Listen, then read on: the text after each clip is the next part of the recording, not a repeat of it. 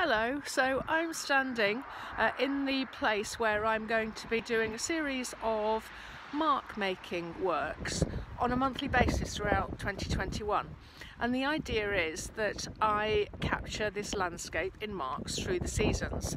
And what I'm going to do is a very large A2 uh, piece um, using a mixture of um, different media and I might well vary it and change it um, in addition to that mark making, I'm going to do some writing of my feelings and thoughts and words that come to mind when I'm doing it each month.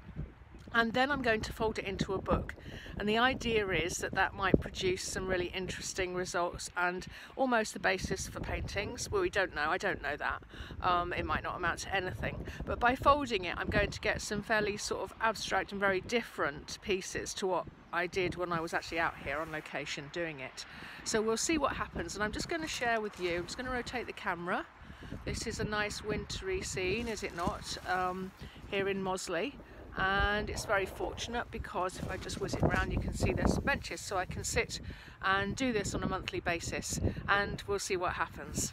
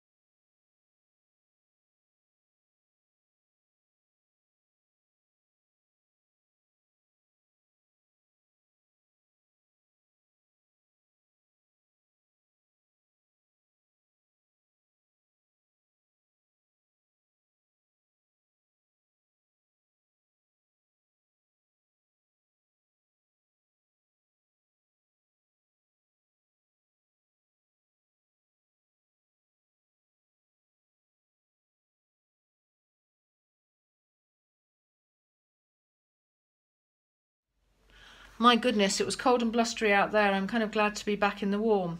So what I wanted to do now is to share with you what I'm going to do with those uh, A2 sheets of mark making that I'm doing out on that particular landscape. So this drawer, you might wonder what this is all about, but this drawer is where I'm going to put all of these booklets and I'm essentially going to fold uh, the sheets and create booklets and I'm just going to take you through uh, what I'm going to create. So if I can just start with this. Um, at the end of last year, I knew I wanted to create a series of uh, works and mark making uh, pieces that uh, recorded um, the uh, particular view and scene uh, in marks and drawing um, on a regular basis, a monthly basis throughout 2021. And I was wondering how I was going to do that. And I didn't just want to have lots of sheets of different times of saying this is this and this is that. I wanted to do something with it and maybe make it a little bit more user usable for me as well as make it more interesting to look at. So fortunately, I then came across Michelle Walker who was um, doing creating folded books on Instagram and I think she was doing them on her YouTube channel as well. And um, I then started um, thinking about how I would fold the papers and I started to look at different sizes. I started to look at a2 and A3 and A4 and I found that A4 and A3 were a little bit too small. But A2, which this one is the prototype for, uh, worked really well. So uh, what I did was, I didn't do this out on location, I did it from drawings I had of being out on the moor, and I just set about creating an A2 sheet and then folding it. And this is the result and really I'm just sort of showing you this for the structure really. So you can stick the pages together and then you make this quite interesting uh, folded booklet. And what's quite nice is that you can obviously open it out and it's a, quite a reasonable size. Um, and what I've then subsequently done is thought about how I would do the front and the back. So what I've done here is I've stuck card on the front and on the back. And so at the moment on the front I've got an image that reflects uh, what's going on inside the book uh, booklet and on the back, I've just put the marking seasons information. Marking seasons is the name of this project, that's what I'm calling it, um, and uh, the details and, and date and so on. So that's what I'm out to create. and I think it's quite a, a nice sort of structure actually. So what I want to do now is firstly to tell you that it's not just going to be about this, this uh, mark making book. I'm also going to keep a record monthly of my thoughts whilst I'm out there. So I've done January's and feelings and descriptions of what it was like. And also I'm going to have words for the month, the words that come to mind that I'm thinking about when I'm out looking at those landscapes.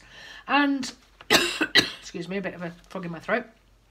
What I might do is to incorporate these into the booklets or I might just keep them separate, keep them as calligraphy. But I'm very keen on using collage and calligraphy in my work, so it may be incorporated into the booklets or may be just used as reference for paintings.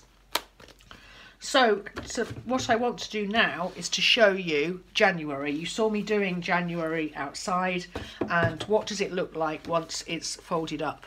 So I haven't yet fully decided on the front and back cover, but I have cut the card for it. So I've got card ready to stick on the back and, and, and front to make it more sturdy. And what I haven't done yet either is to stick it together. So you can see how it's actually quite, um, it kind you know, it opens out unless you, you stick it together. So I will be sticking it together to make it more robust and make it uh, sturdy so that it can be looked through as a booklet. So I thought I would end just by sharing with you uh, January 2021 uh, from that blustery scene that you saw me uh, battling with, what the results is. And of course, when you fold it, you can do it one way up or the other. And for now, I've decided on it this way up. So this is uh, a variety of marks that you get. You see how different it is when it's folded up and how you just get snippets of the views and certain things are in it and certain things. I quite like this sort of like hanging on the edge there and spidery lines and different variety that you get even within one page and you certainly get the feeling of the blusteriness. And then this, I remember looking at this richness of the landscape where you've got really dark areas of trees and so on. And this was, uh, this is what this page was all about. And then um, quite a variety of, of uh, shapes and lines I think you can see. And then this one, um, you really do get the sense of the blusteriness of, of, of it uh, and, and the feeling of the wind, which is quite nice. And then this one, um, interestingly, I did go back the next day because I had to rush away so that I didn't tear the papers up. And so, uh, because it was so windy, I was literally holding on to it for dear life, as you as you probably could tell. So I went back in the next morning, and it was a lot calmer, and this blueness in the sky was there. And so I kind of think that kind of works really well, actually, with those uh, very sort of blustery lines and uh, colours. And then that is the last page. I remember looking through a lot of um, branches and vegetation uh, without leaves and that's where that I think comes from.